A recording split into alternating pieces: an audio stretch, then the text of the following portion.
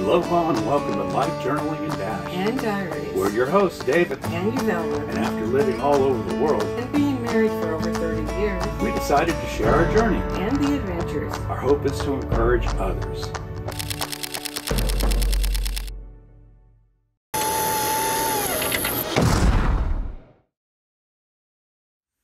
Aloha and welcome to a live update from Life Journaling in Dash with myself, David, and Uvella. We've closed our laptops, and this is what we do for a live update. It's just to turn on the record button and then to visit with you and tell you about something that's maybe encouraging or talk story, as we say in Hawaii. And today, we wanted to give you a live update on what's going on. Now, we're in a campground here in Seattle, Washington, Issaquah, but I thought it was important to bring you up to speed in real time of what's going on. Now, we started our journey back in October, the 1st of October of 2021. Yeah, and we've been traveling all over, and I've been documenting, and so those are the travel updates that you get to see each and every weekend. But sometimes we need to take a break from what's going on. Now, we're not taking a break, but I thought it was important. So I asked Uvella if we could record a special live update so that you would understand what's going on. Life journaling in Dash is meant to be us life journaling. This is what we do. We read scripture together and visit. And then the dash is meant to be the mark of time between on your gravestone, the day you're born and the day you die, there's that scratch or that dash in the middle. And we want to make the most of our dash for God. What is going on right now, Uvella? Um, there's a bear loose in the campground. True story. True story. We're on bear alert. But we are, since you're not saying it, I'll share. We have made the choice, and we go with God, to empty out this version of Dash and to um, pack up a lot of our possessions and belongings, and we're going to be shipping those to Honolulu. We've always had uh, a condominium there, but we haven't lived there. So we are moving to Hawaii at the end of June. June, June 30th. We have one way tickets. We'll still be doing life journaling in Dash, but we won't be in this 36 foot long rig pulling another 19 foot Jeep behind it because we were offered um, more money for Dash than we paid for. And so we thought, you know, we should look at doing that. Maybe God is calling us to a different season. We still may get back into a smaller rig that even you can drive later on. And so we still expect that we'll be traveling, whether it be Japan, wherever. Uh, we don't know. We will tell you that we are planning to do live journaling on the Saturday. I think it's the 11th of September. It's that weekend. I don't have a calendar in front of me, but we'll be doing live journaling at Magic Island at 8 o'clock. And so if you're on Hawaii, you can join us there on the beach. And we'll be doing just a big meet and greet with um, a lot of people from all over. And um, we'll continue, like I say, to be doing the live journaling. Uh, that's not going to stop. That started 20 years ago. So we're going to continue to do that. Um, briefly, I'll tell you the dogs are staying right now with our children in Seattle, our son and daughter in law, and our grandbaby. Um, that's not an easy thing, but um, oh, our granddaughter loves Ollie and Hannah, so they're going to be well taken care of.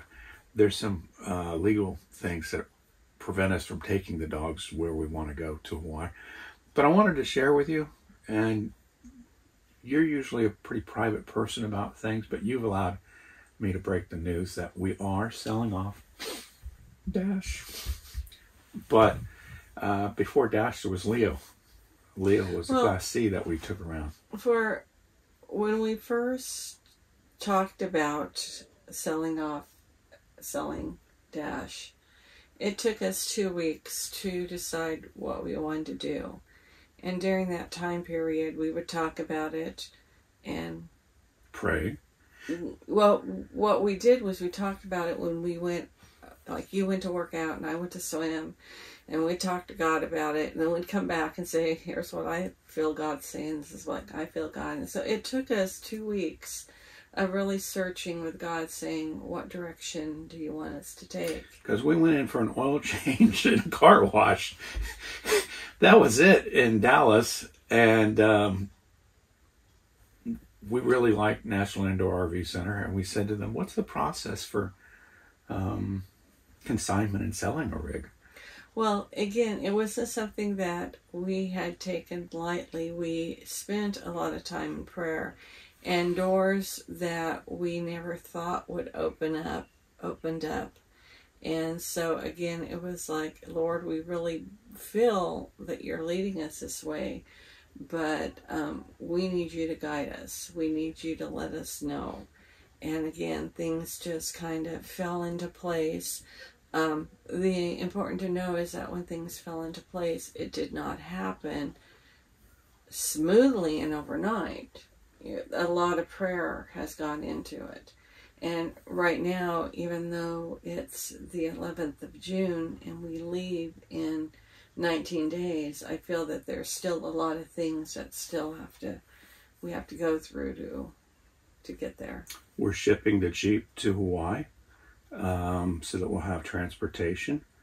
And, you know, I go back and I reflect who buys an RV or a car and then turns around and sells it for more than they paid for it in 12 months or 24 months? Who does that? So, uh, there are a lot of things that I would say are God provided, God ordained, and so that's where we're going to go and uh, we've enjoyed our time in Dash, but it is a big rig. It's massive. It's like a tour bus, and you can't drive it. And uh, I can't drive it safely. true, you've driven it like three or four feet forward to check the brakes on the Jeep. But um, yeah, we have had adventures throughout our life. I was a DJ in Texas. I was a DJ with the Air Force overseas in Iceland, Norway, Tokyo, and you've been a teacher in Oregon. You were a teacher in Iceland, Norway, Tokyo. Uh, so we've had continuous adventure. We'll continue to have adventure.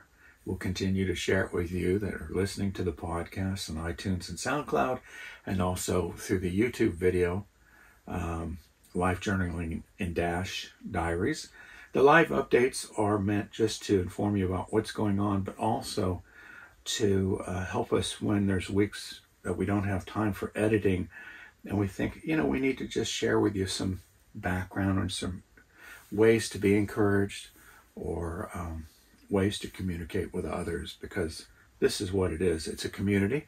We do have a private Facebook group over on Facebook called Life Journaling in Dash. It'll ask you a couple of questions and then you can join and you can be there with gosh, Matt and Christian and Sierra and so many other people that are forming this community. And then also on YouTube, we have Bo out of Mesa, Arizona. We have Norma Jean out of Hawaii. And, you know, saying these names, I want to thank each and every one of you that have watched these videos. We'll continue to make them. Um, Uvella's got a new computer. Which is another story about why we don't cry over spilled milk because it kills the computer.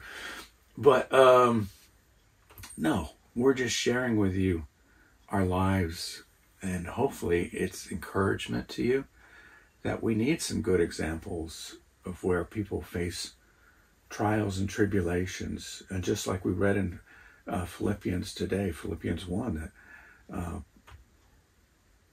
Paul was praying for the people, whether or not he could be there or not.